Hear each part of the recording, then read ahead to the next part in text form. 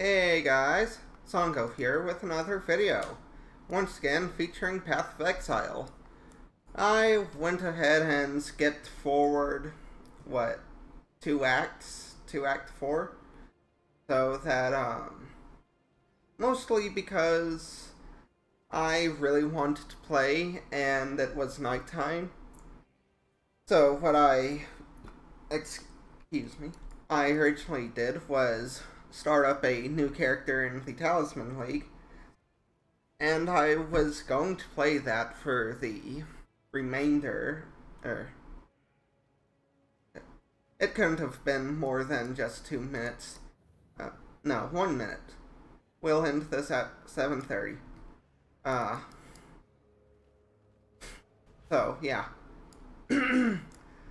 I tried that, and I got to where I left off on episode 3, and I was just so dissatisfied with it. Having no damage because uh, this game does not hand out any useful loot. Because you're supposed to trade for it, you know, instead of playing, you have to spend, yeah one of the complaints I have about the design of this game. But, yeah. Right. So I basically decided, yeah, if the if anyone watching this actually wants me to play uh, from where I left off, even though it's the uh, Acts 3 and two are kind of boring. They receive like no reworks in a year. So yeah. Well, there were a couple content updates which gave little lore fluff stuff to um them, but overall it's nothing really worth even watching, but I guess the people who are who would watch this anyway might not mind. And uh, I've already cleared out this area, but uh, well, it's Act 4. It's kind of cool. So I want to go over it. Uh, so, there's this mini-boss who clones himself which is incredibly frustrating. But, uh, fucking hell. But, yeah. And has a charge up arrow thing, which I don't think is actually available to any of the player classes, or players. I'm fairly sure. Then again, I don't find uh, bow and arrow to be particularly fun in this game, so I may just be behind the times. So. Oh, look, and we're at the actual boss over here. Uh, if you could hear his saying, death to sin, Ah, uh, you... no. Well. What? Okay, it's not over here then. I heard it coming from the right. Oh, right here, right here. Uh, yeah. Giant guy, fall. I've already killed him, but I'm going over this because it's one of the more interesting fights in this game. Unfortunately, he's mostly just a big uh, bullet sponge. But I, yeah, kind of fun to have to evade all of this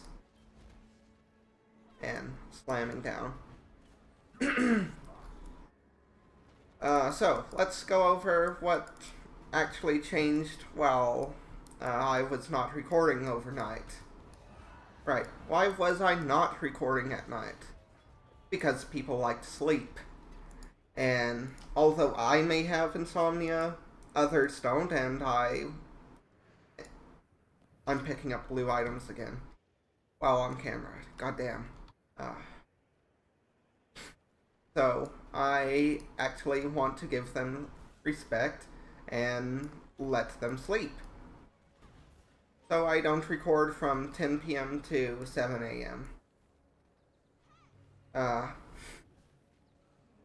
so yeah. And I didn't record this earlier because, well, quite simply that, uh, when you've only got one build and you play it for a couple hours, it kind of gets starts getting repetitive if there's nothing really interesting going on. I like how I'm just dancing around the strong box and not actually uh, doing it, but everything's coming in from all around. Can you blame me? So, uh, how about we actually talk about what's changed? Well, first of all, he. Would he go away, please? Oh, look, a turtle. A turtle.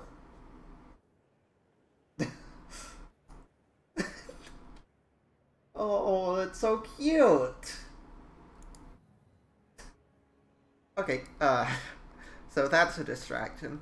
Uh, so basically, I just went ahead and got stuff from my stash. It wasn't really fun to be a slow and zero damage character.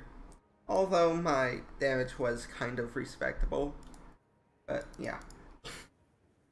Because no matter how much you loot, you will find absolute jack shit in this game. You have to just trade.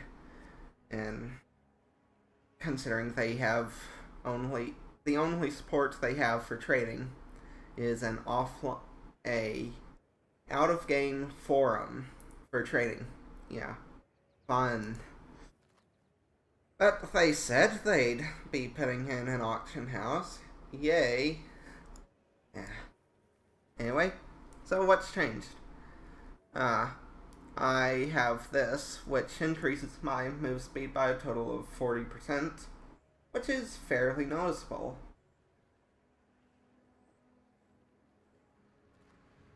Would you guys leave me alone and let me talk? I'm not doing anything to you. Thank you. So, uh, and more mana regen. Yay. But most importantly, I have this Tabula Rasa, which is useless, except that it's a 6 link with white sockets, which means it can equip all of the colors. So, and I have it equipped to Contagion and Essence Drain, because I am lacking one of the supports that I really want, and should get uh, here soon, I think. So, lesser multiple projectiles, which makes my thingy, uh, seriously, I've just killed you guys. Would you please go away? Which lets my Essence Drain uh, shoot out three things. Which is, I mean, it, the gem itself has a multiplicative reduction and seriously where are all these things coming from? Jesus christ. I uh, anyway it's got a multiplicative reduction in damage but the actual convenience of being able to shoot more than one is kind of nice so yeah I'm taking it. Controlled reduction, or controlled destruction. It makes it so I basically can't crit unless I build for crit chance, in which case you probably do not want to use controlled destruction. Uh, in exchange for a flat multiplicative increase in spell damage, uh, marked by the more. Contagion, er, yeah. Contagion is getting benefits from some of this, but I'll go over that later. Void Manipulation reduces elemental damage, which I am not using, to increase multiplicatively uh, chaos damage, which I am using. And Empower, which just improves the level of spells even more. So, Contagion gets the benefits of all of those because it's also linked in here, except for lesser multiple projectiles, because it's not a projectile, it's an area, so it's not applicable.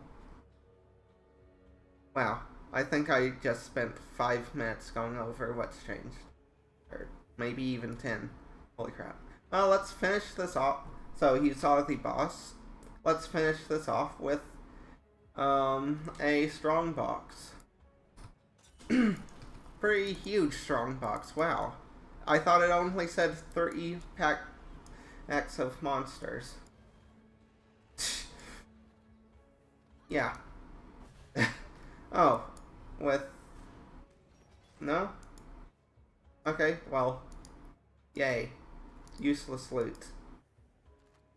Uh, I still like to hoard stuff, so...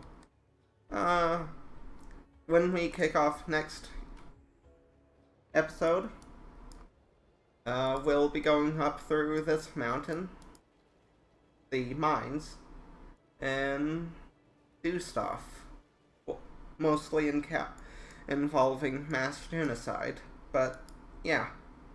Have fun, and have a good day.